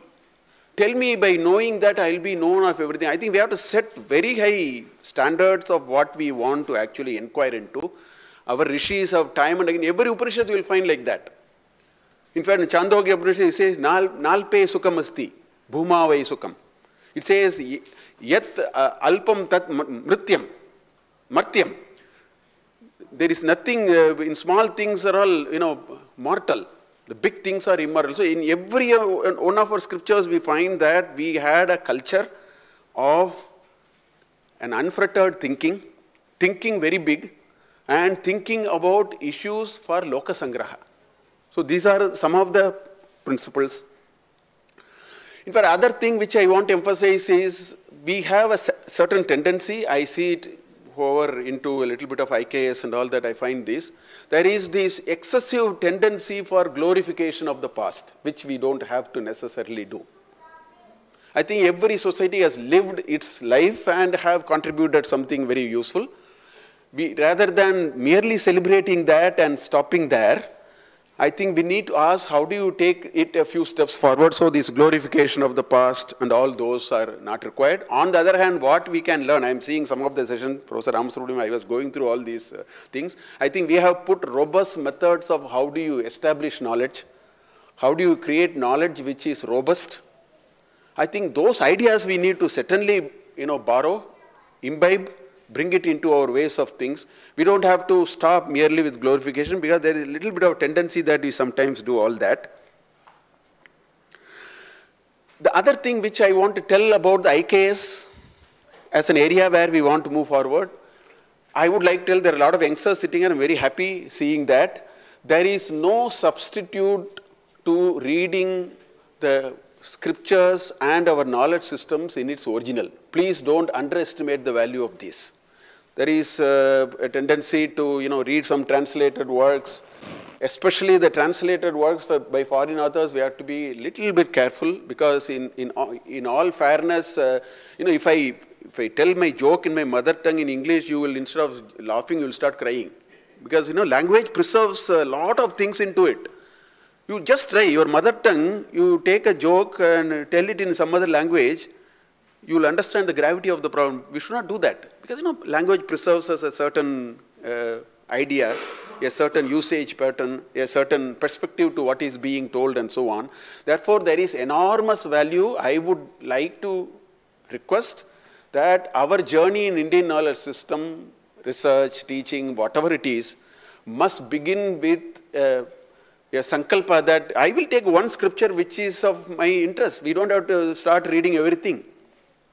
I think we can take one scripture which is very close to our heart, which is even little closer to what I am doing, my interest and so on.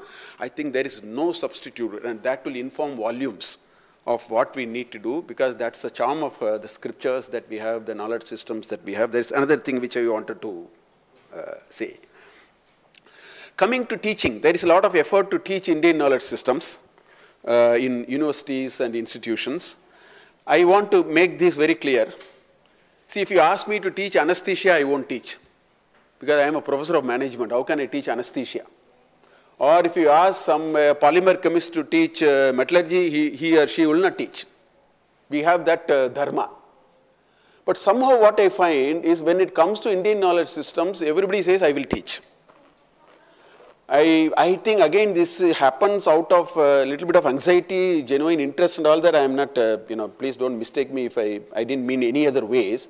But I am saying when we have to teach Indian knowledge system, we must invest substantively in reading scriptures, developing the domain expertise, thinking through it in our own ways, rather than uh, in our anxiety to bring, because uh, we will do a lot of counter marketing we will, uh, instead of serving the cars, we may end up actually damaging the cars even more. I think we have to be very uh, mindful of this trap because I, have seen it in a few places. I think uh, uh, many things are being attempted.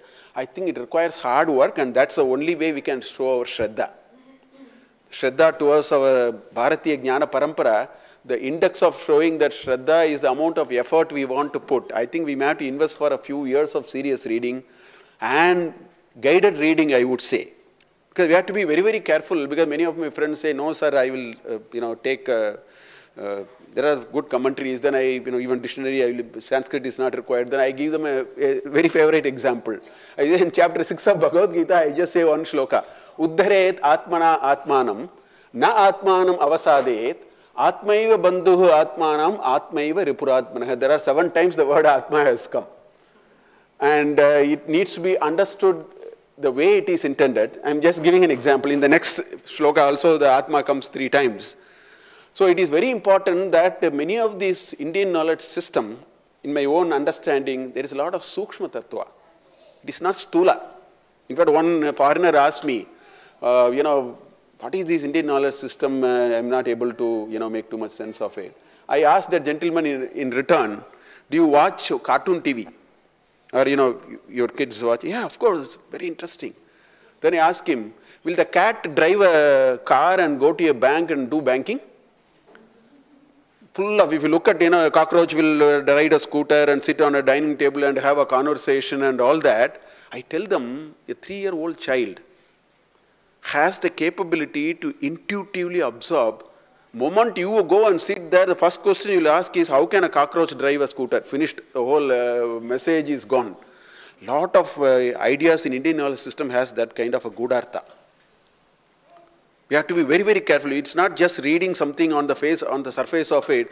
Uh, you know, I am a professor of operations management. My example I give is, Draupadi was disrobed in the, you know, uh, after all this uh, thing is over.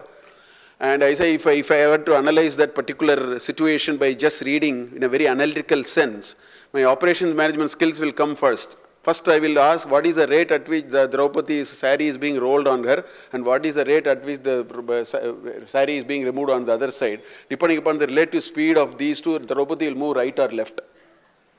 I can do calculation and show you actually. Or I will ask is there enough raw material for manufacturing the sari? Is the production capacity and uh, supply, supply of uh, sari is uh, commensurate to the demand. That is not the way to read. Because most of our education today has become too analytical. That's not the way to read. That message was not meant for it.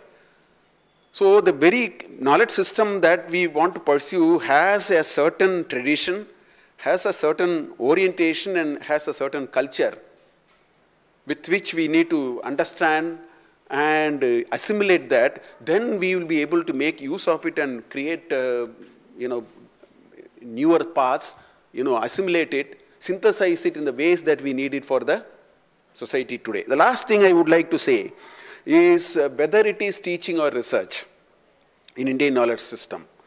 I would like to make this request. Context must drive the scripts, scriptures rather than the scriptures drive the context it becomes very difficult sometimes because uh, I, again I see, you know, simply they take Arthashastra and pull uh, something out of it and churn something out of it. I think uh, all these we are doing, I'm not suspecting on the intentions, we are, with all our genuinity we want to do. I think contextual relevance is very, very useful. Therefore, uh, we must, society has a lot of problems. Society is moving it's evolving, and that is a very, uh, you know, uh, uh, dharma of our ancestors. When problems uh, emerged, they inquired into the problem and came with ways of solving, and that's how these scriptures grew continuously. You know, in mathematics and astronomy, you know, uh, Ram used to tell you how for 1,400 years it has been continuously evolving. I think we should have that culture in, in us. So therefore, let us talk about the problems, the issues that we face, and how in our effort to solve the issues, let's dip into the scriptures, synthesize, deeply understand, synthesize ideas from that, then you know there is a possibility that we can create and we can regain the last glory that we have uh, in the last you know few uh, years and so on. I think uh, with this I would, uh, I'll make it, I have an hour and a half tomorrow to share a few more thoughts, so I don't want to get too much detail into it. It's a great effort by uh, Dr. Richa and all those uh, people. I, I, mean, it's simply evident by the messages in the WhatsApp, if that is an indication of what it is. Enormous thinking, enormous attention to details, enormous effort has gone behind it. There's no way this seminar can uh, result in anything other than a great success. I pray to the Almighty that uh, let this take to greater heights in the years to go.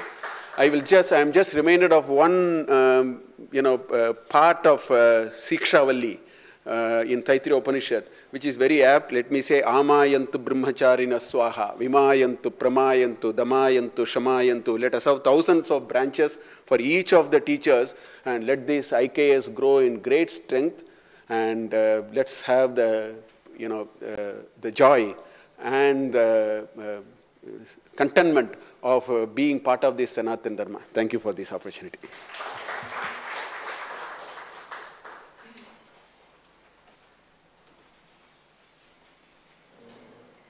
I actually feel very overwhelmed with uh, whatever Professor Mad Mad Mahadevanji has shared.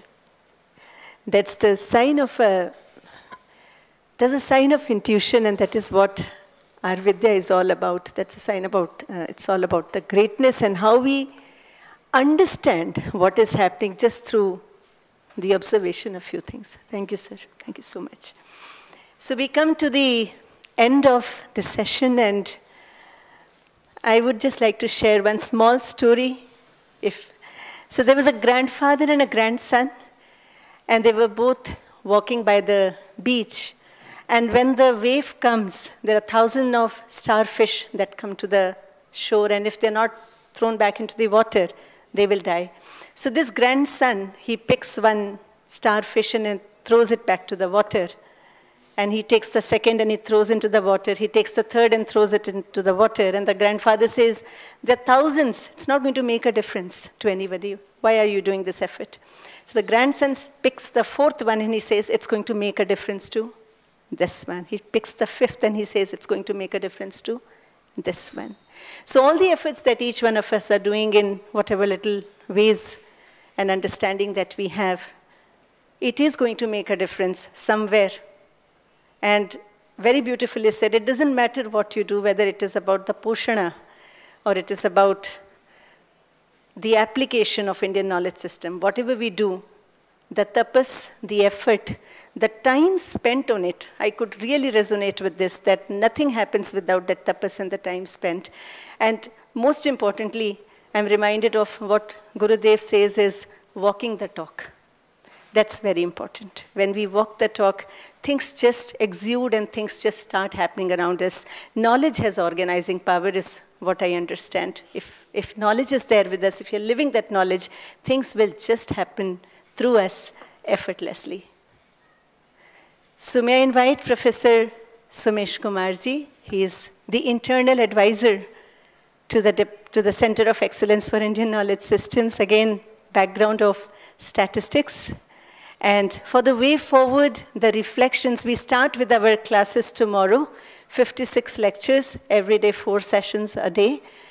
And Sir, your reflections and way forward before we go for Rasanubhuti with Kaushiki ji. I'll have a few small announcements after Professor Somesh Kumar, and then we'll proceed forward. Thank you.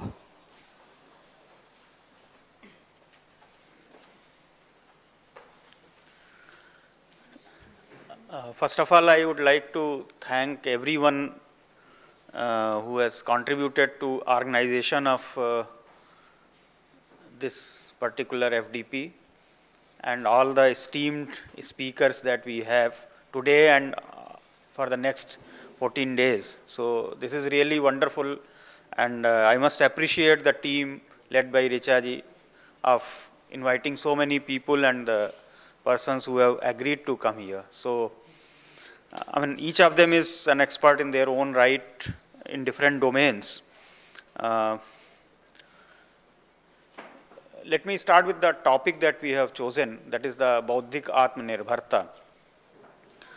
Uh, so, I mean, I think uh, time and again, every speaker has been mentioning about uh, the Indian knowledge system and so on. So, what is the primary thing? Like when we study today in the school education, so we talk about various things. I mean, like we read Archimedes' laws, we then read Pythagoras' theorem, then we read uh, Newton's laws, then we read Laplace transform. And uh, where are the things which are contributed by the Indians, why that is not there?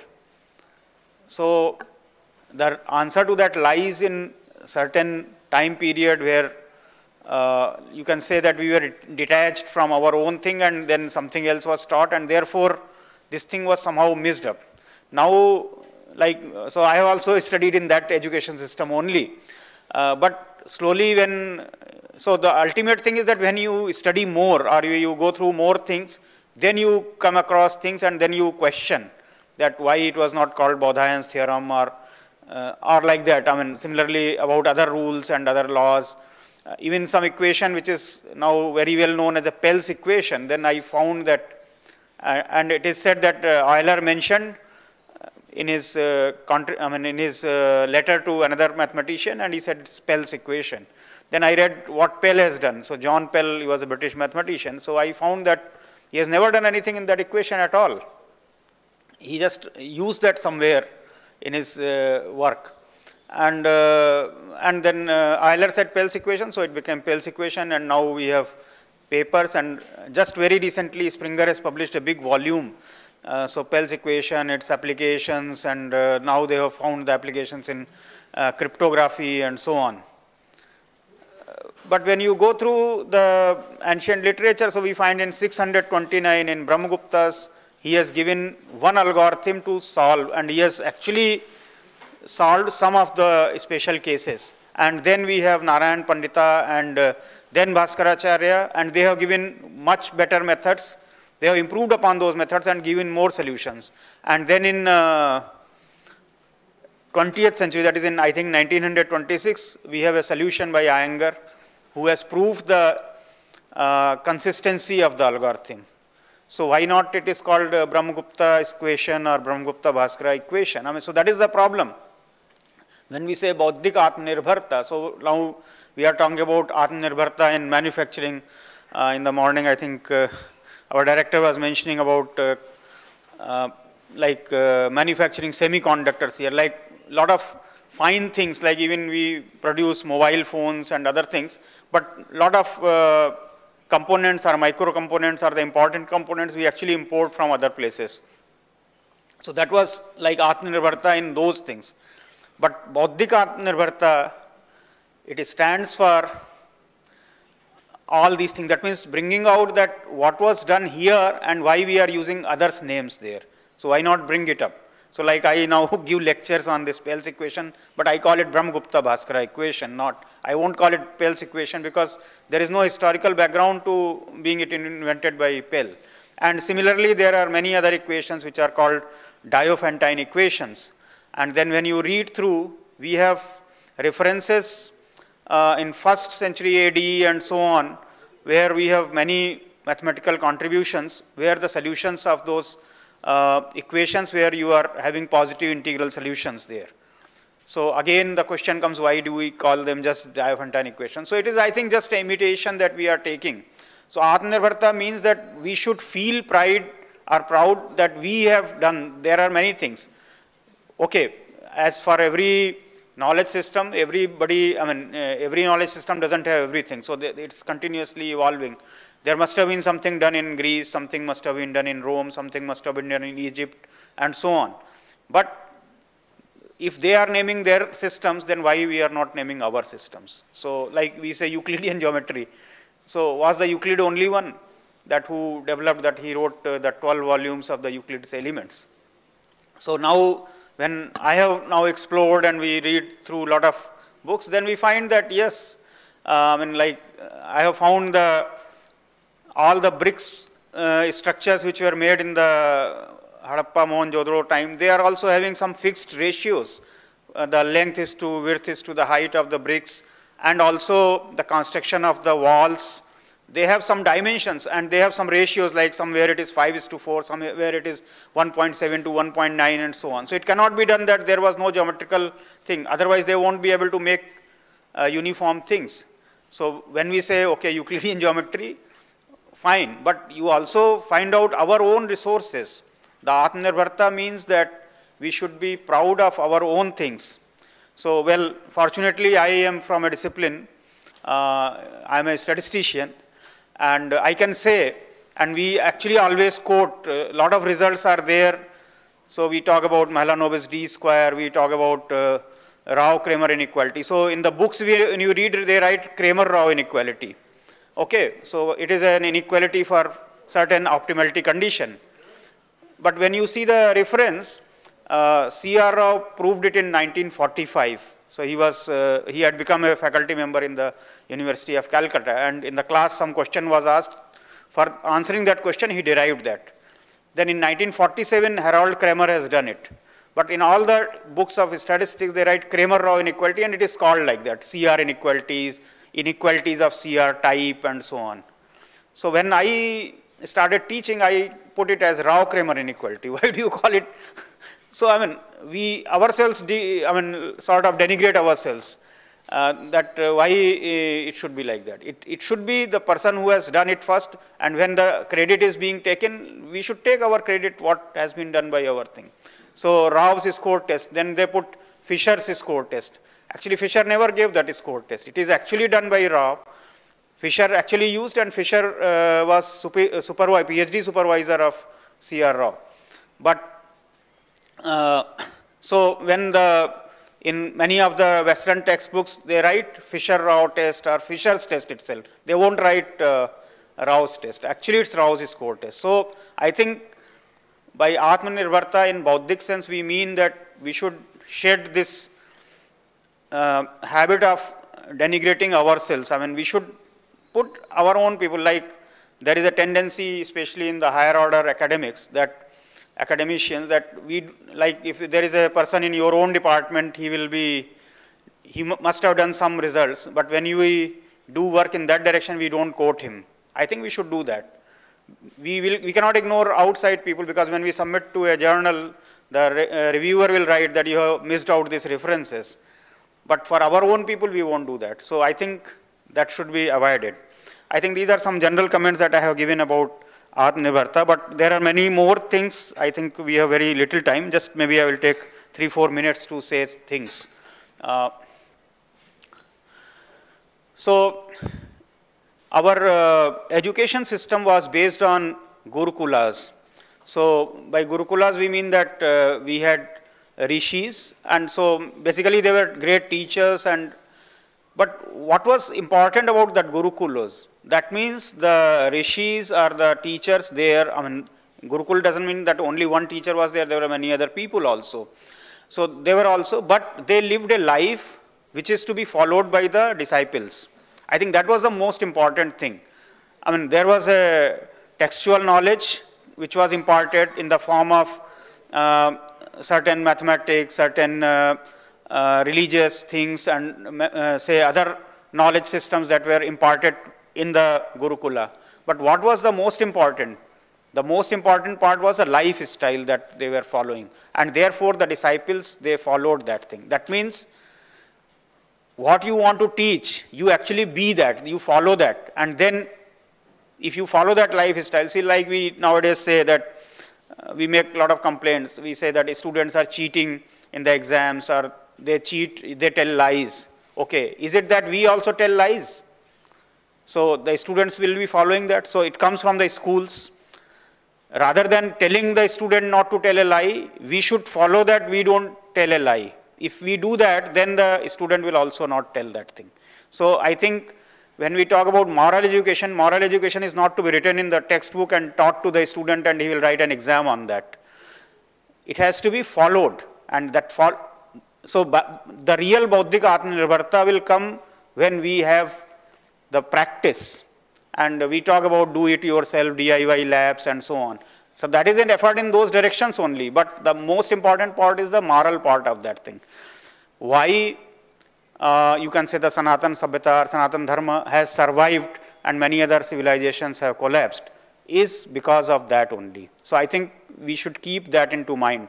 I have given some very general comments here, but probably that is the purpose of that because specific comments will be there or specialist lectures are there throughout this workshop for the next two weeks which you will be enjoying.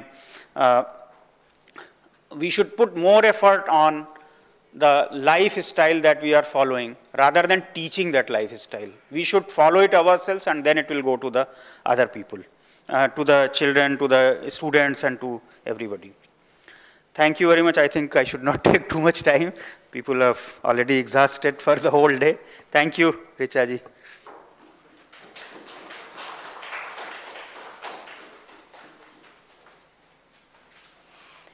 So with this, we conclude the inaugural, and I'm sure we enjoyed the conversations, yes?